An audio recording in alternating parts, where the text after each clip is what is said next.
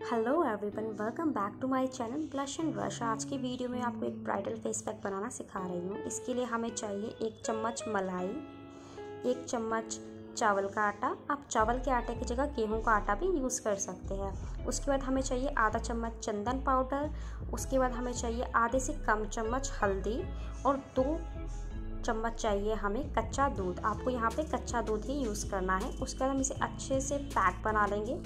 इस पैक को आपको अपने स्किन पे रखना है 15 से 20 मिनट तक के लिए।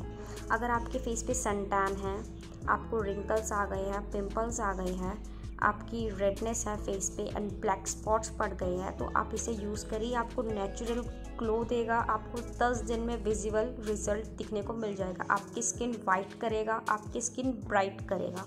इक्वली आपको फेस एंड नेक पे से यूज़ कर लेना है, और हाँ आप इसे डेली यूज़ कर सकते हैं।